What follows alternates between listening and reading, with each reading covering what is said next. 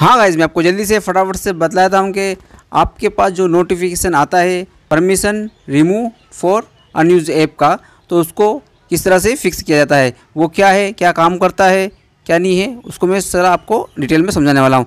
तो आप देख सकते हैं नोटिफिकेशन हमारे पास है permission remove for unused apps तो इस पर जैसे आप क्लिक करेंगे, जैसे हम इस पर क्लिक करते हैं तो कुछ इस तरह से इंटरफेस आता है और ये फेवरेट कॉन्टेक्ट और डिलीट का ऑप्शन आता है।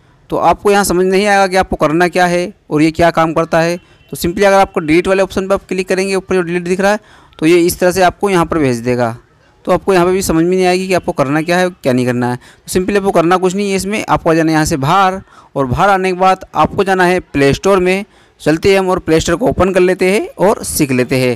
तो हम प्ले स्टोर को ओपन कर लेते हैं और प्ले स्टोर को ओपन करने के बाद कुछ इस तरह से इंटरफेस आपके सामने आएगा। तो आपको सिंपली आपके जो प्रोफ़ाइल है, उसका जो लोगो है, सिंपली आपको वहाँ पर क्लिक करना है, ऊपर की तरफ़ राइट साइड में।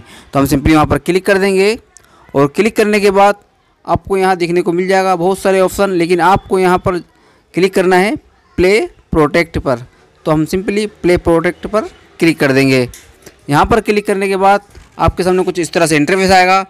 तो देख सकते हैं, नो हॉर्फुल एप्स फॉन्ट। तो ये क्या काम करता है, जो आपकी एप्लीकेशन है और बहुत टाइम से इंस्टॉल है आपके मोबाइल में और आप यूज़ नहीं कर पा रहे हो उसको ओपन नहीं कर पा रहे हो तो ये बतलाता है कि ये आपके आपको डाटा भी कंज्यूम कर रही है, आपकी बैटरी भी कंज्यूम कर रही है और आप पे कुछ काम नहीं आ रही है तो क्या आप इसको रिमूव करना चाहते हो? क्या आप इसको अनइंस्टॉल करना चाहते हो? नोटिफिकेशन आता है कि आपके बेनिफिट के लिए, आपके फ़ायदे के लिए है। तो चलते और सीख लेते हैं कि इसको किस तरह से काम में ले जाता है। तो आप यहाँ से स्कैन भी कर सकते हैं इसको। और ऑटो स्कैन करने के लिए आपको सिंपली करना क्या होगा? राइट साइड में ऊपर आपको आ, सेटिंग का लोगो दिख रहा होगा। उस पर सिंपली आपको ऊपर क्लिक करना है। जैसे मैं आपको क्लिक करके बतला देता हूँ।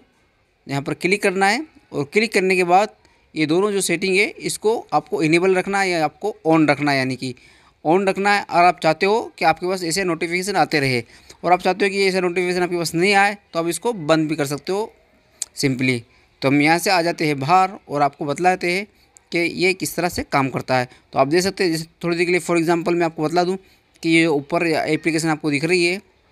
इसको मैं आपको रिमूव करके बतलाऊँगा अनइंस्टॉल करके। तो हाँ सिंपली मैं इसको अनइंस्टॉल कर देता हूँ, यहाँ से।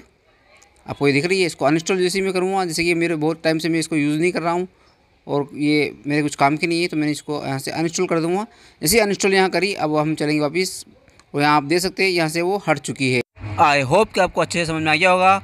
तो अगर कुछ भी कन्फ्यूज़न हो तो आप कमेंट बॉक्स में मुझसे पूछ सकते हैं मैं कमेंट का रिप्लाई ज़रूर करूँगा। थैंक्स फॉर वॉचिंग हाँ गाइज़ अगर वीडियो पसंद आई हो तो वीडियो को लाइक ज़रूर करना और चैनल पे पहली बार आए हो आप तो चैनल को लाल बटन दबाकर सब्सक्राइब ज़रूर करना। इसका कोई चार्ज नहीं लगता है ये पता है आपको। तो मिलते हैं फिर नेक्स्ट वीडियो में नेक्स्ट टॉपिक के साथ। तब तक के लिए आप अपना और अपने परिवार का ख्याल रखना। Bye bye